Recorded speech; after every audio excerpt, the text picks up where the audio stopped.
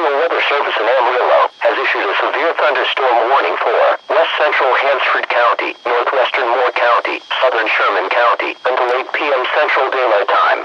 At 7.05 p.m. Central Daylight Time, National Weather Service meteorologists have detected a severe thunderstorm capable of producing quarter-size hail. This storm was located near Cactus, or about 10 miles north of Dumas, moving northeast at 20 miles per hour. Locations impacted include Cactus, tornado watch remains in effect for the warned area. Remember, severe thunderstorms can, and occasionally do produce tornadoes with little or no advanced warning.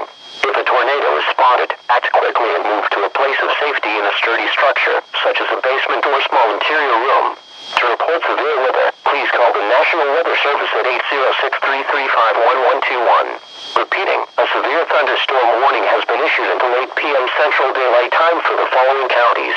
In Texas, Hansford, Warren Sherman,